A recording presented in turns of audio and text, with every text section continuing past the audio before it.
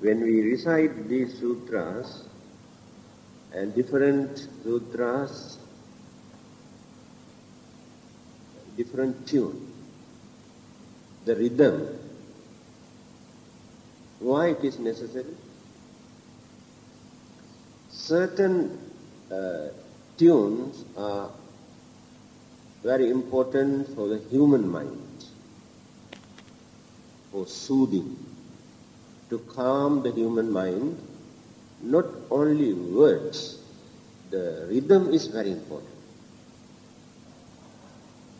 And certain sutras, the tune appeal to devas. And certain rhythms influence other living beings, like animals, a snake. Some others influence invisible non-human beings such as spirits or ghosts to influence them. Influence means to avoid their disturbances. The rhythm is important. There are some birds, snakes.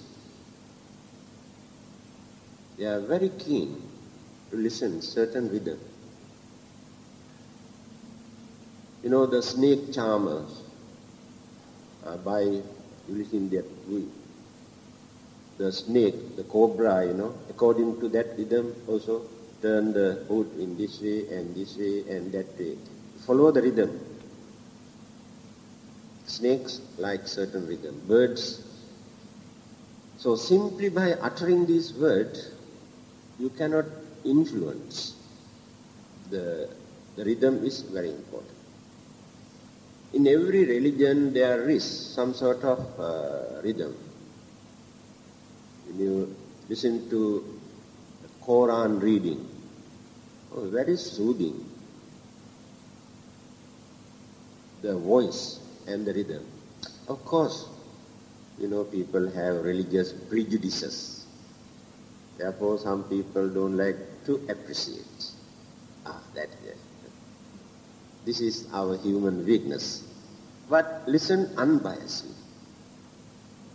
I really enjoy that. That rhythm, you know, the way how they recite.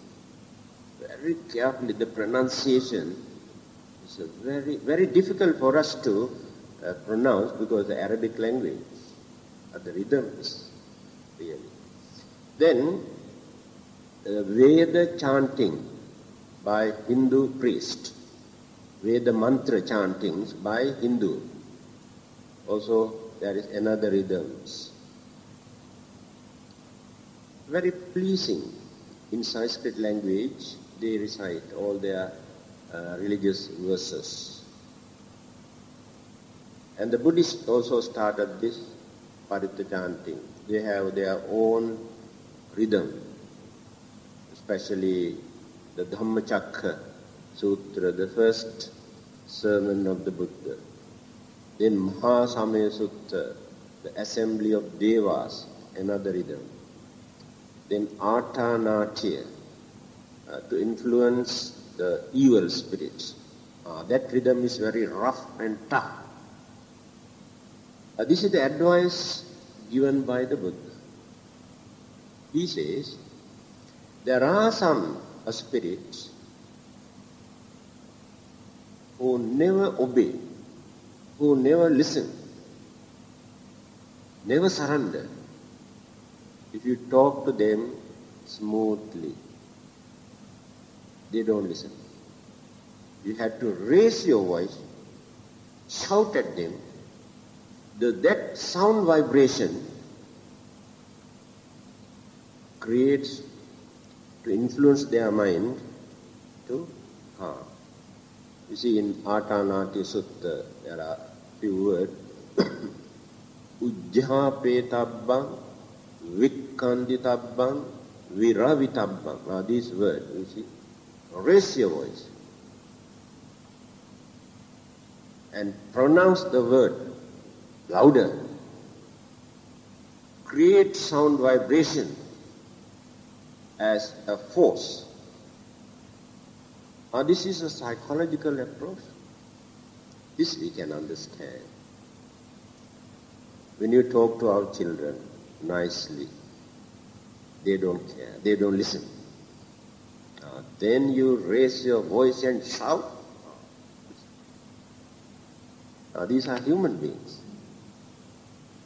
And certain uh, spirits or devils or yakas are very stubborn. They come to see the Buddha, group by group. And the Buddha says how they behave. Some of them just come to the Buddha and say, hello, how are you? That's all, sit down. Some others just come, hmm, sit down, no talk, no respect. Some others just come and sit down, no talk, nothing. So proud. And some come and pay respect and sit down. After listening to his discourses, and they, some of them behave in the same way. Some of them just get up and walk up. No need, doesn't want to see the face also. And some others thank him and pay respect. Uh, you see, when you read uh, Atanatiya Sutta, we can say, uh, Appekacche tunhi bhuta tatthe vantradhavin. දාවි. Tunhi Buddha. Just quietly walk out without saying even that. so this is the nature. There are some human beings also when they come here. They also behave exactly like them. there is no difference, you know, sometimes we can see. So then, what is there actually for us to use as the power or the authority to influence others, to protect others, simply by chanting these sutras. Still people cannot understand. First thing, our mind. Now, when we recite this for others, at that time, directly we have to focus our mind towards that particular person or group of people. If you go on thinking some other things while reciting this one, they don't experience, the, because the the mental vibration and sound vibration, both are. Sound alone cannot uh, influence. Now when you recite a mantra, actually you do not know what you recite. And you never divert your compassion, kindness, but some people do that. So, the mental attitude is important. Second aspect, people have not learned this thing. Why it is necessary for us to recite one particular stanza or sutra for so many times, again and again and again and again.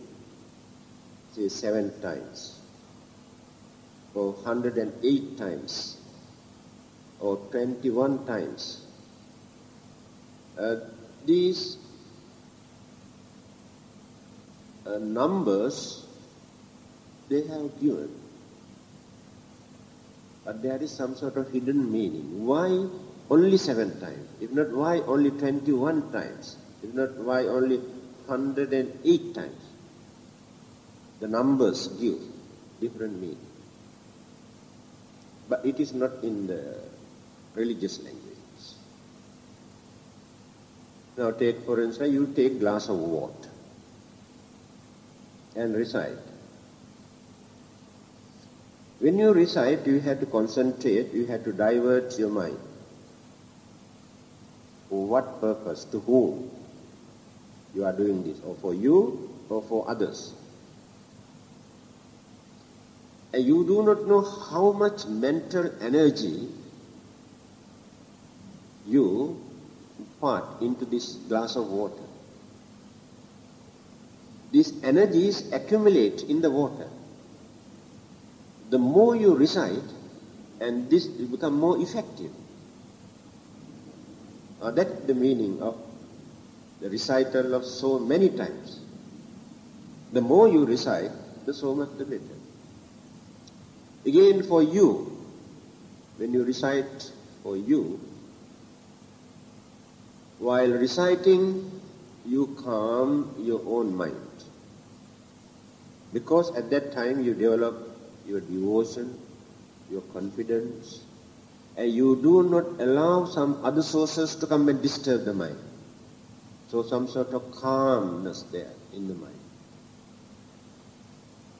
Very difficult to develop this mind up to that extent. Therefore, chanting is very important to concentrate, to calm the mind, and to avoid rubbish, evil thoughts, and to protect us from various external sources. The mind and the sound vibration both work together. Then assume, now I am going to chant for you and you just listen. But your minds are running here and there. And then you won't be able to experience uh, good results. You had to divert your mind towards this sound, this recital. I had to divert my mind towards you. Uh, then this relationship, communication, create the effect. The more you concentrate, the more you develop your devotion and confidence, the more you experience the good result. Another aspect.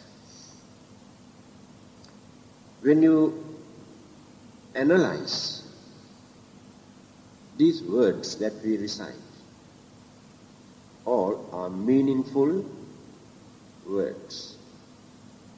Every word convey some sort of virtues, qualities, good qualities, wisdom, kindness, compassion, all are virtuous. Then the power of the Buddha, Dhamma, and the Sangha. What is this power? Still people cannot understand what sort of power The Buddha, by developing, cultivating, accumulating all the great virtues, knowledge and wisdom and enlightenment, developed this bala, this power this energy. And this power never disappeared. The power that he generated never disappeared. His physical body disappeared. Take a very simple example the man who has discovered this electricity, uh, he uses knowledge and wisdom. The one who has discovered this is no more. But his wisdom uh, still remains. This brightness today we are enjoying because of that wisdom. Atomic energy discovered by those scientists. They, had, they were dead and gone. But the energy must remain forever. It is up to us to use this either for constructive or destructive purpose. That is our mistake. When they wanted to discover, they never had such ulterior motive that they want to misuse this energy for destructive purpose. And later we have diverted this to create lot of disasters, destruction. So the wisdom and the enlightenment and the power discovered, revealed, radiated by the Buddha never disappeared. So every time when you remember him, when you respect him, when you develop confidence in him, when you recite the word uttered by him, uh, that power is still working. Then the Dhamma. What is Dhamma? Dhamma is justice and peace and truth and reality. This is called Dhamma. And these are the most powerful thing in this world. The power of the truth. Now when you develop your compassion, it is the power of the Dhamma is there. And that power again protect you in return.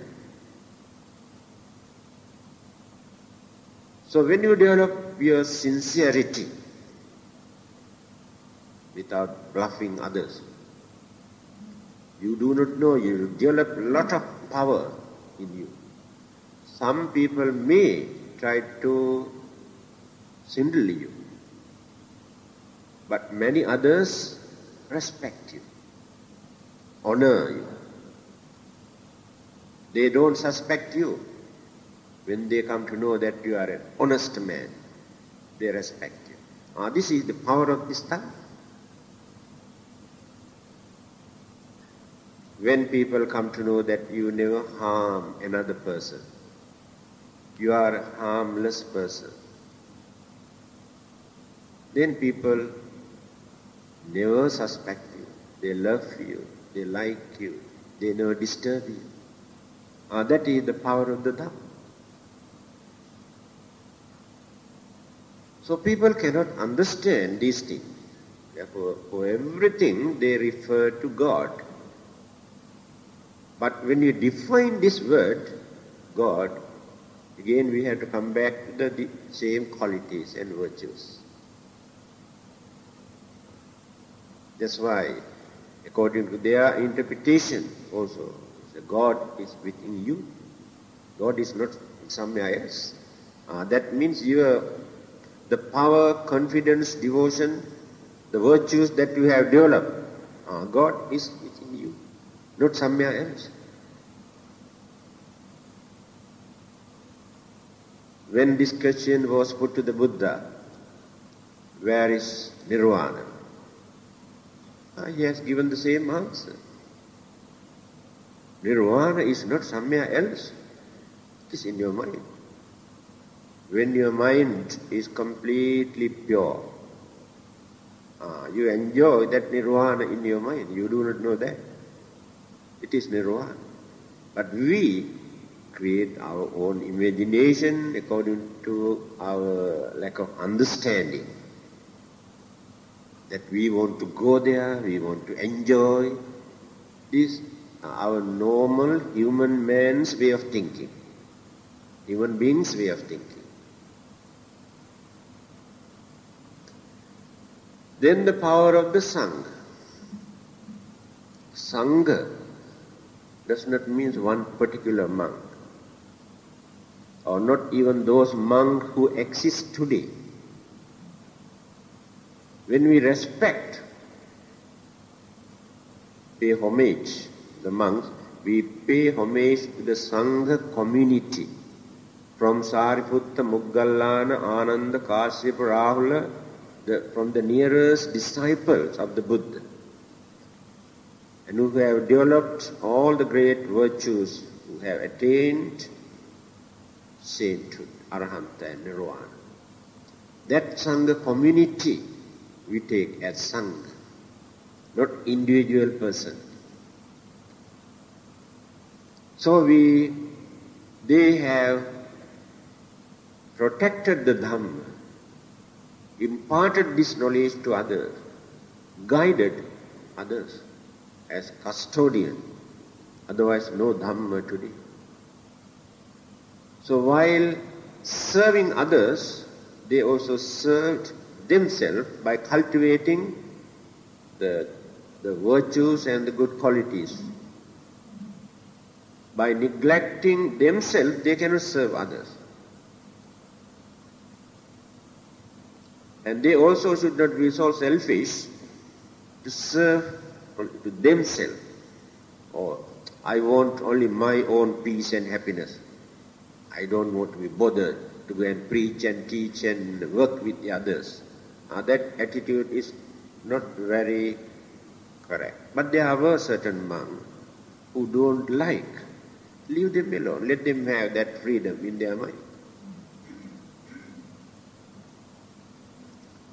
Uh, this is the historical background.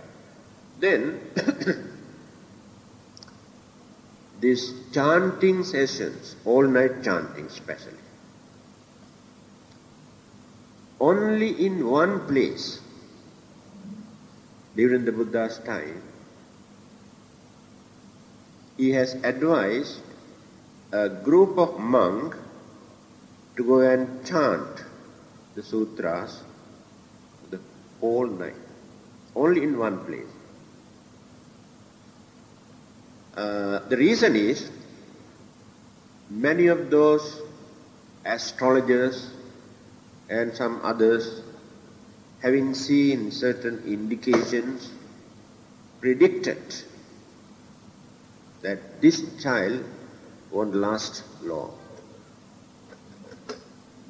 The parents were worrying about this I reported to the Buddha. They say this child cannot live long. But he has seen the Buddha, what is happening. If it is due to a very bad karma that this person has committed during his previous birth, the Buddha also cannot change it. No one can change it. Because the Buddha also had to face some of them. Nearest disciples also had to face. No one can stop. But certain karmas, uh, this is also very important. Certain karmas are not very strong.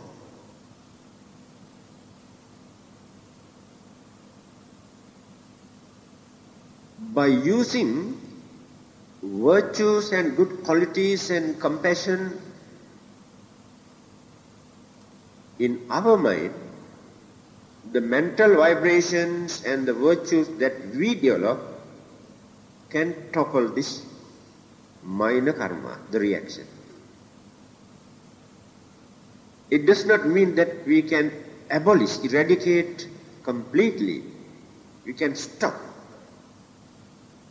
for the time being, or within this lifetime. So this kind of chanting or meditation, recitals uh, work to protect some people. Here, the monks, they have done this chanting the whole night.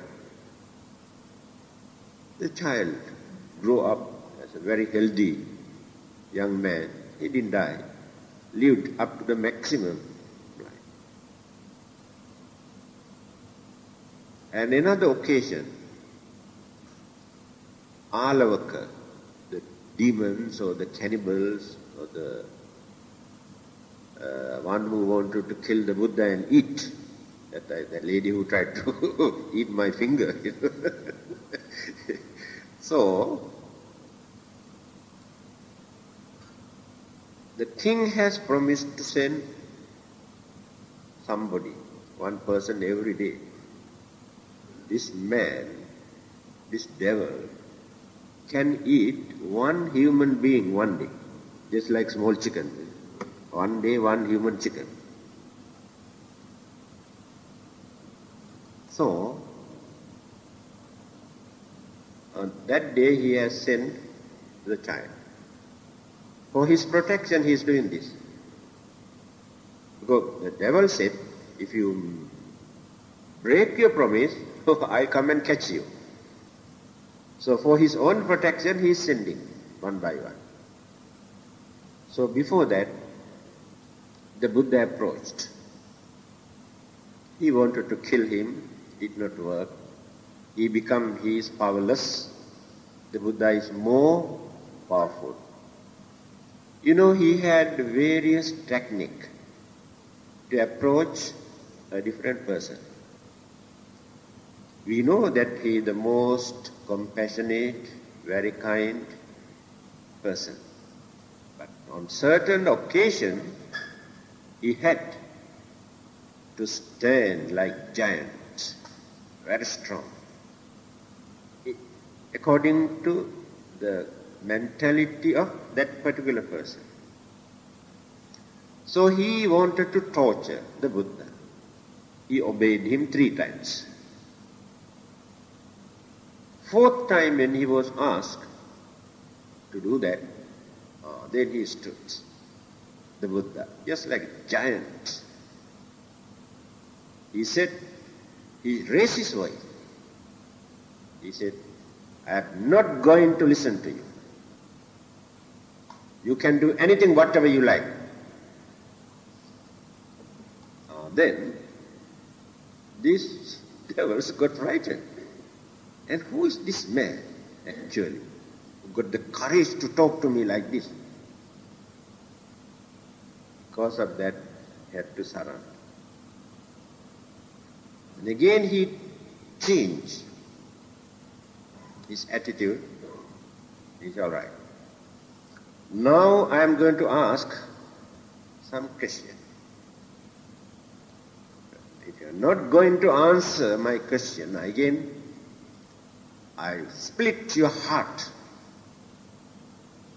I take you from your legs and throw to the other bank of the river. There was a river nearby this place.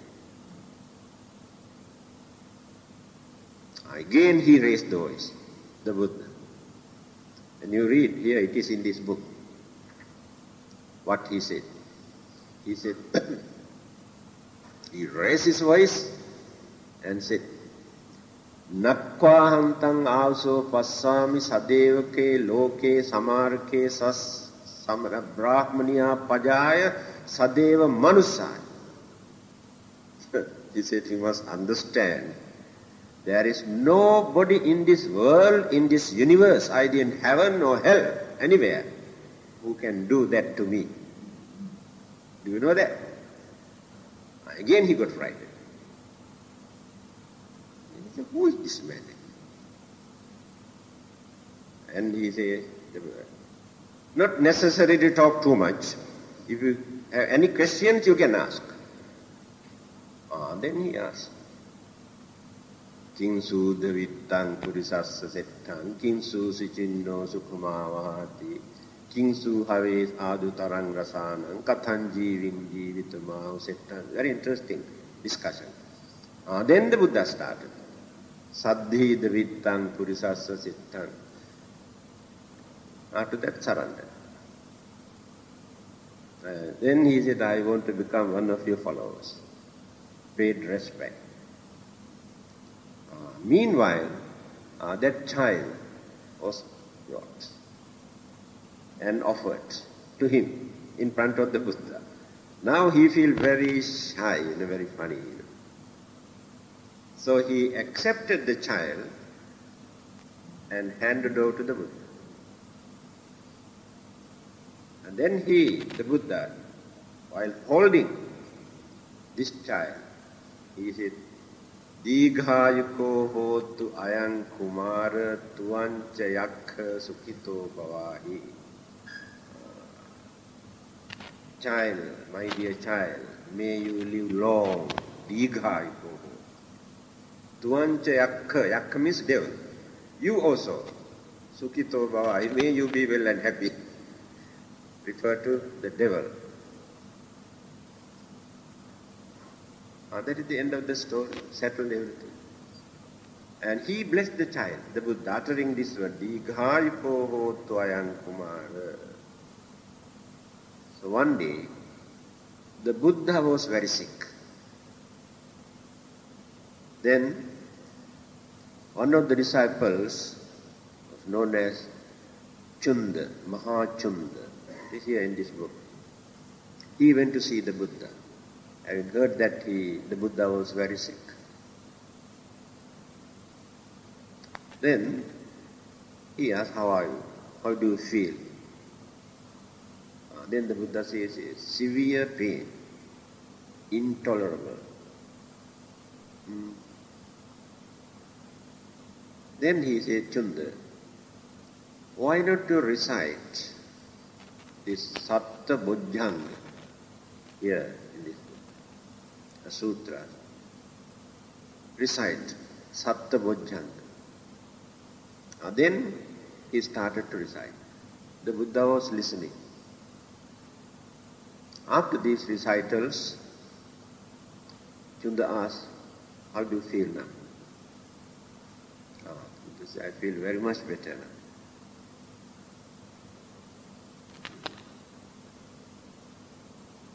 It does not mean that the Buddha had never heard this, his own preaching.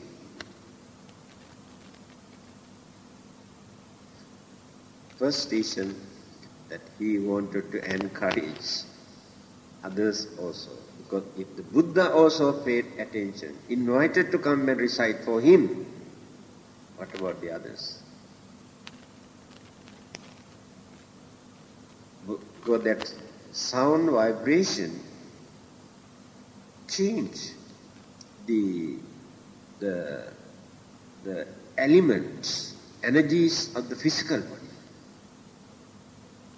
That is how people experience some sort of relief.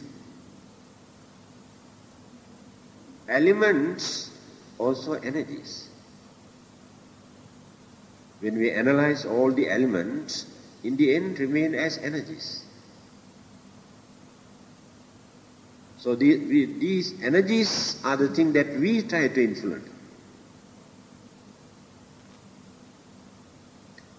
This I have seen in 1975 in London.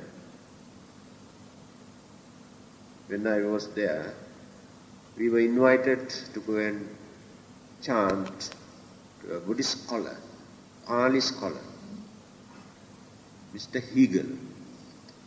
He was the Secretary General of the Pali Text Society. So, one who translated Pali Sutras into English. He was very sick, having some heart trouble. He was staying very far away, I think nearly 22 miles far away from the heart of the London town. So when we visited, so he paid respect. So three of us then he told, Reverend, can you recite these Bojjhanga Sutras for me? Because he knows, every word he knows meaning it. Can you recite? Ah, I say can. So we started reciting and he was listening with folded hand so listening word by word, he acknowledging because he can understand what we recite. He really uh, enjoyed the happiness, realization, concentration that he developed at that time. I was watching very carefully. Then after uh, our chanting, he was lying down you know, all the while. He got up and sat down. He said, now I feel a big relief, you know, in my body. The happiness, confidence developed. And understanding. So at that time, they were planning to buy a new house in London. He knew. So immediately he gave a check, a big amount, pounds, as a donation to that temple.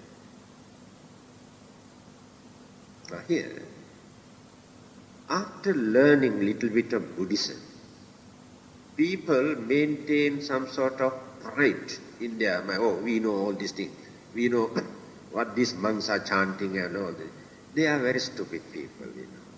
Look at the Pali scholar who can understand every word, how he appreciated. See the way how Buddha invited his disciples to come and chant for him. These are very good examples for us. So we should not think in that way, or oh, we know all these things. Oh, or not, we can, we also can recite. Because when you recite, difficult for you to, to develop so many sources, energies, because you are alone. And only one mental energy there. If there are few monks or some others, all their mental vibration join together, become more energetic force, get more confidence. So many people have not realized this. In certain temple, the monks are sick, uh, they invite this all night chanting. I remember, think about 10 years ago, Venerable Narada, one who has written a lot of books, Manual of Buddhism, Manual of Abhidhamma, and Buddha and his teaching, big book, and Buddhism in a nutshell. So many books he has. First, in fact, first Buddhist missionary to this part of the world, you know. Uh, he has done a wonderful service. He died, I think, about one year ago, at the age of 88 or 89. He was very sick in Singapore. In fact, uh, Sri Lanka government informed the High Commission there to attend to him. If anything happened, ask them to attend because they, the government wanted to give uh, honor for him. He was so serious. But that day we organized an all-night chanting in Singapore temple. He could not walk. People carried him, the wheelchair. He was sitting in front of us. Then I gave a talk before our chanting that services that he has rendered here in this part of the world to introduce Buddhism. In fact, he has paved the way for us to come. Otherwise, we have no chance to come. He has prepared the ground for us to come and work here. The credit must go to him. He's the pioneer. And I gave it. to him. Then when I was talking like this, you know, I was watching, you know, the tears pouring, you know, happiness created in his mind. Purposely I did this to please his mind. He could not talk even one word on that day. No voice. Then we started our chanting. After listening for a few hours, tired, he wanted to go and take rest gone back. We continued the whole night. Next day morning, he could talk, laugh, eat, uh, see what are the sources, energies are there. Atmosphere that we have created, the sound vibration, and we also have done this with confidence, kindness, compassion towards him. And how many monks were there? all of them have diverted their minds toward him immediately. So, next day, after dana, when we wanted to come back, we went to pay our respect. Then he said, I want to offer each of you something from me. The devotees might have heard certain thing, but I have not given you anything. So he went on searching everywhere in fountain pen and pocket watch and handkerchief or towel, so whatever he had and given to each monk. Happiness. So this chanting, for the last 2,500 years, all over the world, devotees experience. Then, another secret I think I have revealed.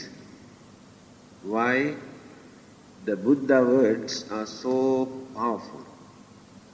I think you can remember. What is that? It's also important. Before his enlightenment, the determination he has developed in three ways to become the Buddha, determination, aspiration. Mano panidhaya, vak panidhaya, kaya panidhaya, three ways. During the first period, only mano, mana, mind, only in his mind, contemplating, thinking, that one day he wants to become a Buddha, that's all. He maintained this for a longer period, life after life. Later he developed further. Uh, that is called Vak means words. Uh, then he started to tell others, I want to become a Buddha. Before that he never uttered even one word. I am working for that. Then the words also that he used without misusing, without abusing. He developed this for a long period. Uh, then come to the last stage called Kaya Panidhaya. Kaya means body. Uh, started to work for them. First he developed only determination. Then he developed words. Then action. By using his full effort, he used his body to do good work, good services, not to misuse his physical body. Do not know how long. But even then, he says, while he was practicing all these perfections or paramitas, occasionally he has violated certain precept because he is not a holy man. He's an ordinary man, but virtuous man with a strong conviction, such as killing or stealing or sexual misconduct and uh, drinks and drugs and all these things he has done occasionally. But after becoming the Buddha, when he surveyed the trace back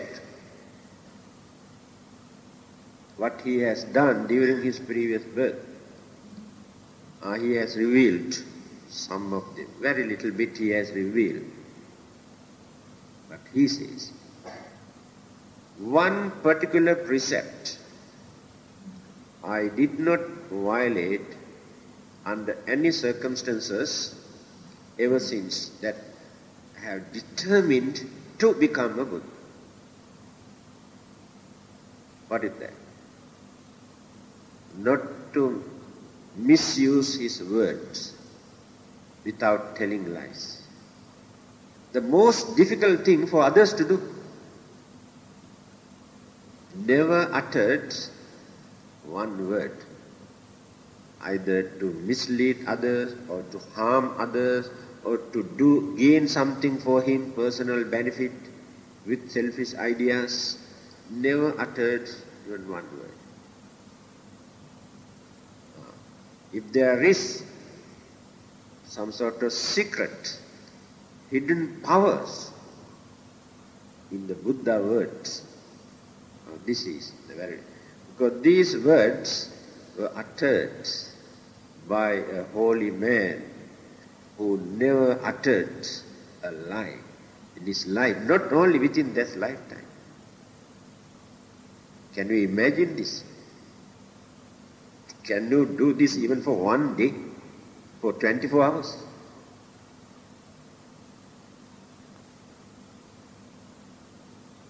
So, after his death, actually, there were very few Buddhists at that time, during the Buddha's time. The majority belonged to various other religious groups, but they too respect. They did not accept the Buddha's teachings, at very few disciples accepted. Because take time for them to understand. Because this is entirely new system, new method, new doctrine to them. Uh, still, many people cannot understand why the Buddha did not advise monks to become vegetarian. Still, they cannot understand because they consider the, our way of life today. When those monks go out, they don't, people don't bring, and no such devotees at the beginning. Go out for their alms round. Their system is not to choose some particular house. That is one of the principles. They must go to each and every house. Should not overlook even one. Whether they are Buddhists or Hindus or Christians or Muslims, or it is immaterial. That is their principle. So, nearly 95% of them belong to non-Buddhist group. But they visit, asking their food. So when they visit their houses, they offer whatever they have prepared as their food. Whether it is vegetable or rice or meat or fish or this makes no difference. For their survival at that time it is very important. No such organized dana at that time the early part of the life. People cannot understand this thing. So, after his death, one week after his death, the dead body, the king also came. He was not a Buddhist, but pay respect. The dead body is carrying out huge crowd assembled just to see. Mostly non-Buddhist. One voice, irrespective of their religion.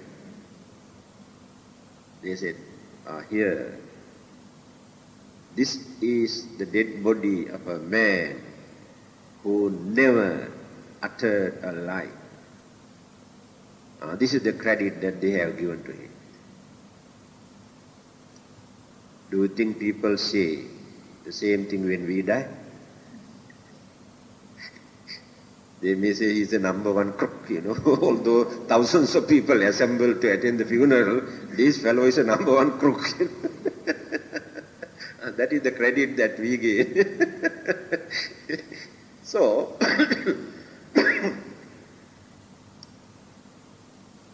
the power of the Buddha words but that is not enough. Our devotion, confidence, and you develop with these powers, immediately you can see. One day, an Indian, he was working in the Ministry of Home Affairs, Secretary General, brought his child. He said for three days this child did not open his eyes. Don't know what is wrong with Doctors also say nothing wrong. So they brought this child. So I went there, gave some blessings and a little bit of water to drink. Immediately after that, just front of the Buddha image, this child opened the eyes. To the parent, this is a miracle. Of course, today some others also perform this kind of miracle. They are ready-made ones, you know. Earlier they apply something to close their eyes, go there and perform some sort of conversion ceremony. Ah, here, open, ah, open. Oh, see, see the miracle, the God open. there are no such tricks. so, so I have given many reasons for you to understand why these recitals are important. Then the second question is, uh, how can we experience some good result if we cannot understand what we recite, the language problem? That is why in other countries like China, Japan, Korea, Mongolia, and Taiwan, they use their own language. They have translated this into their own language and chant.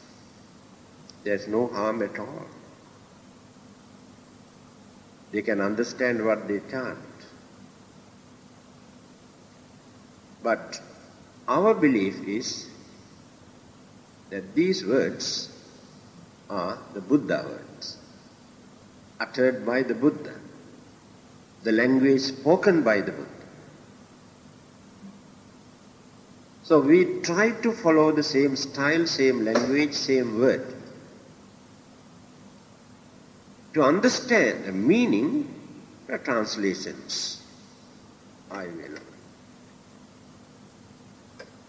Now this is our system that we maintain for more than 2000 years. Another clarification.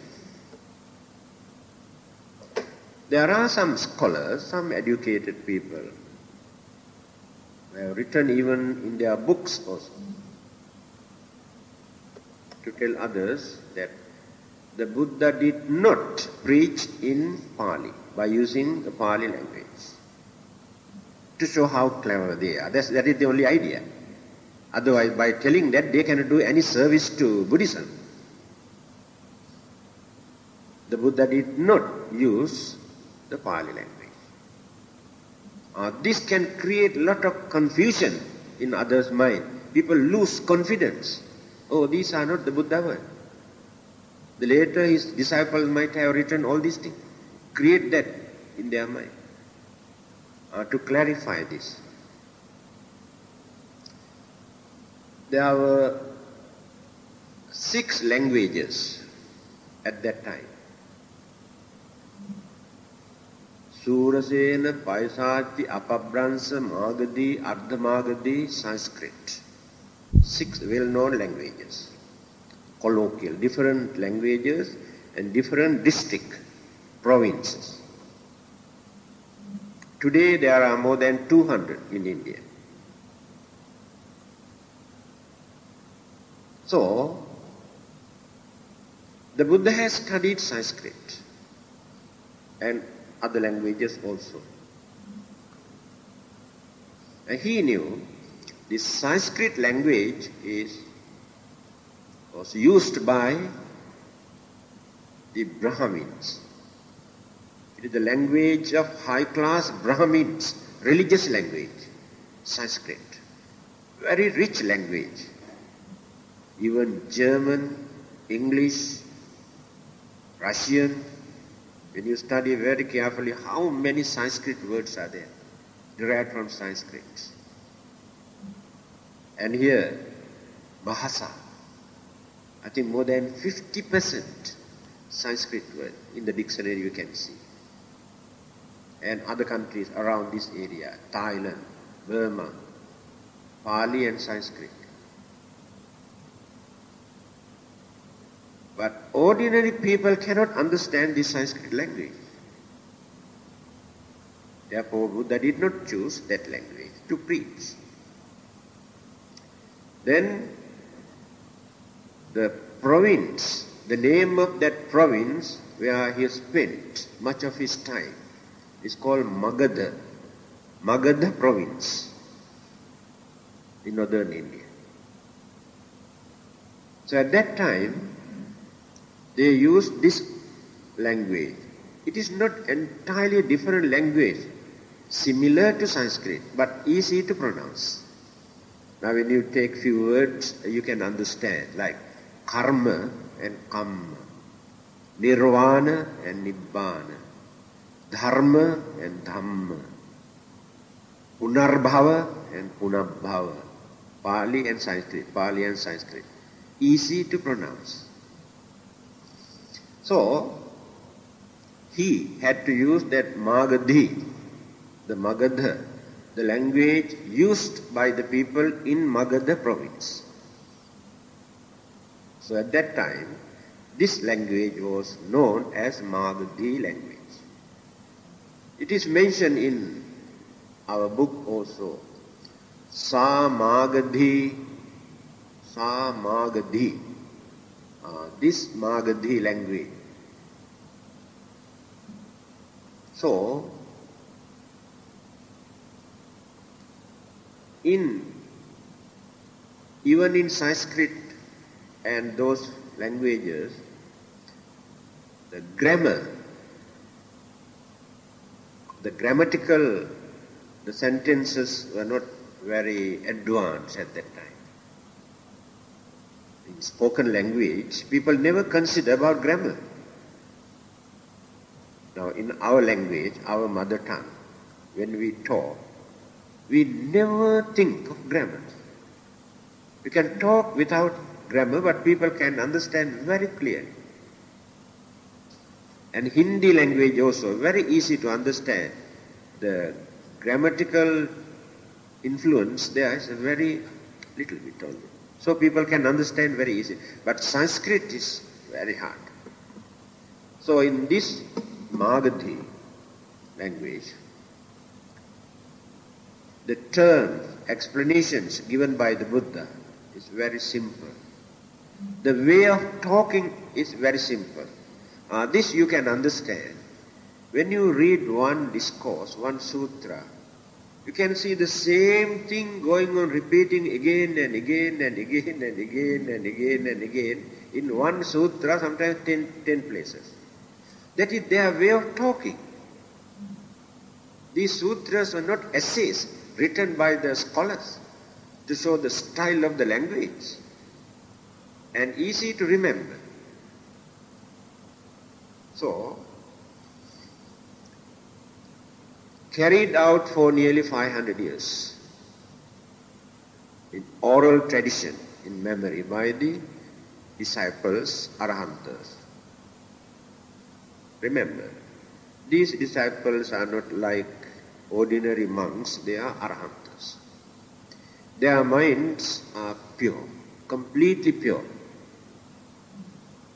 Their memory is remarkable because no other worries in their mind. And they have divided different sections, group by group, to maintain. And the teachers, they always maintain, now it is our duty to train our disciple. I went on like this for 500 years. So after 500 years, when some problems and difficulties and what you call famine and disasters, uh, they decided the time has come for us to record, write down. Before that, no written record. Even in Christianity also, during the Jesus time, there was no written record. Everything was written by St. Paul's and what you call and Augustine and uh, Luke and Mark's and all these disciples. But amongst all those disciples, St. Paul's was the learned one who influenced philosophical teaching into Christianity. And Hinduism, Vaidika, Veda, Dharma also, not recorded, not written at that time. Recorded ones we can find few hundred years after the Buddha. But Hinduism or Vaidika Dharma existed few thousand years earlier, but no written record, or everything in memory. So, they have decided to record.